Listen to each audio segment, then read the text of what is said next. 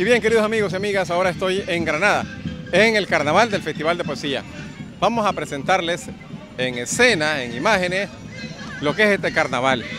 La alegría de la vida, la alegría de la revolución convertida en este carnaval de las expresiones folclóricas de Nicaragua. Hemos visto menos bailes este año que, que en los años anteriores, pero en fin, aquí está la esencia de la cultura popular nicaragüense combinada con la poesía. Veámoslos. El carnaval folclórico en el Festival de Granada.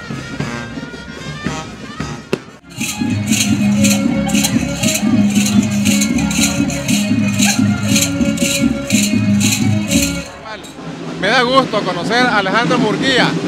Ha venido desde California, Estados Unidos.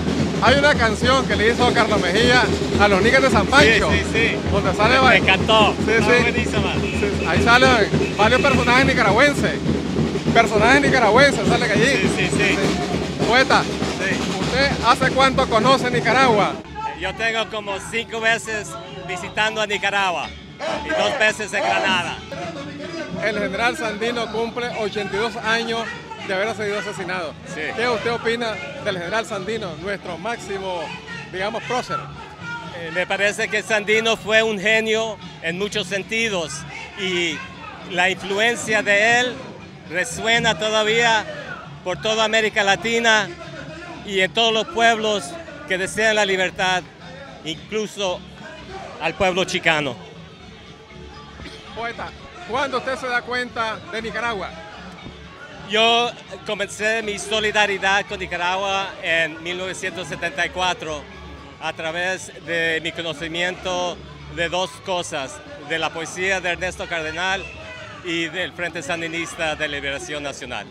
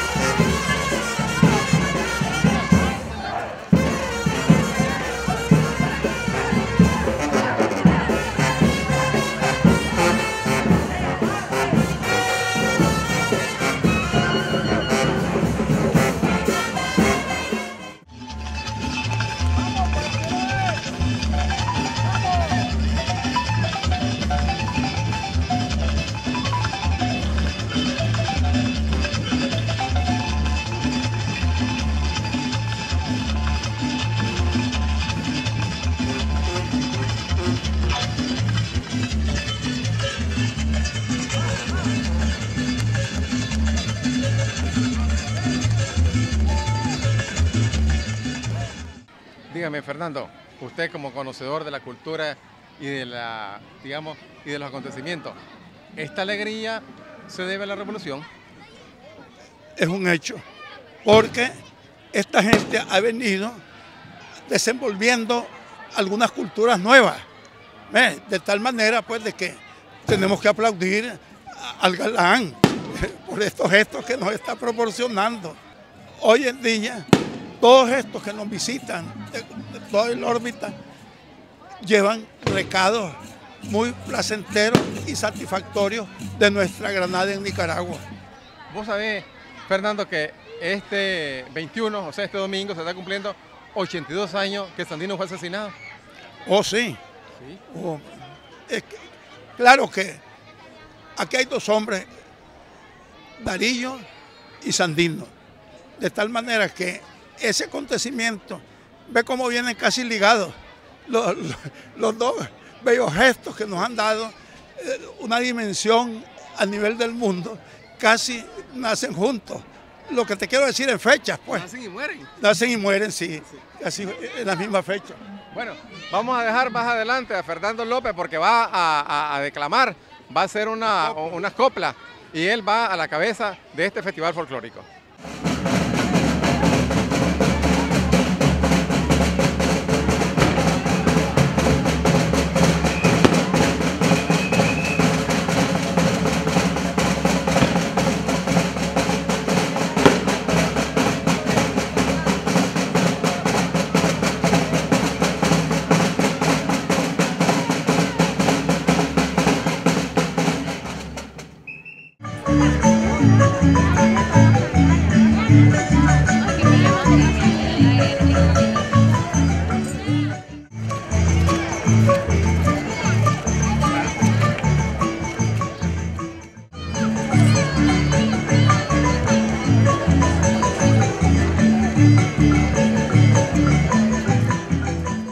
Tengo el gusto de hablar con Socorro Guerrero. Ella es bailante tradicional, organizadora de los priostes y priostas de San Roque. Yo he tenido el gusto de conocerla hace 20 años.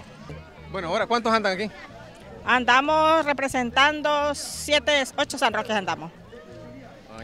Comenzamos por la Virgen de los Ángeles, el Indio, Nindirí, Mulato, Mestizo, Milagroso, el Guerrero, He visto que andan San Roque. ¿Cuál es?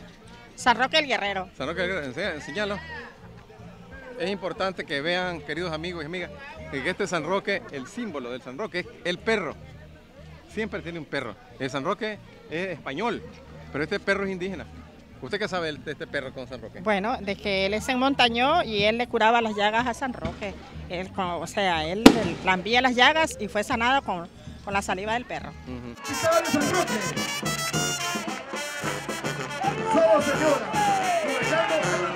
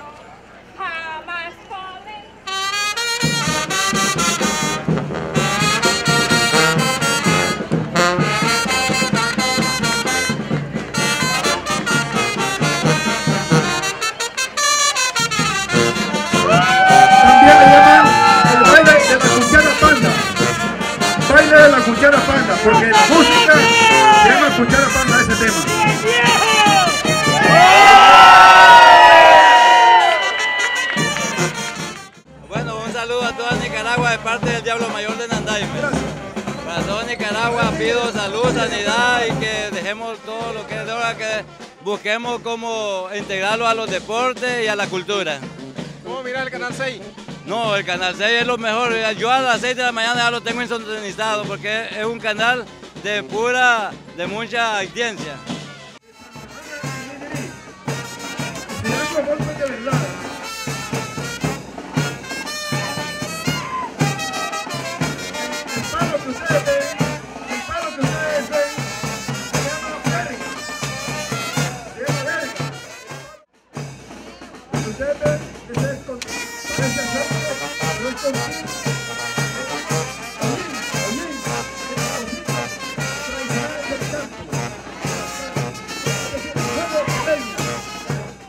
Hasta aquí este reportaje especial de el carnaval de el folclor en el Festival de Poesía. Hemos hecho prácticamente un recorrido total con los bailes. Los hemos visto, los hemos oído también expresarse. Esta es la alegría del folclor nicaragüense. Los esperamos la otra semana en otra jornada más por la divulgación y promoción de la cultura, de la cultura popular, la cultura del pueblo. Hasta la próxima semana, queridos amigos y amigas, siempre por Canal 6, nicaragüense, por gracia de Dios.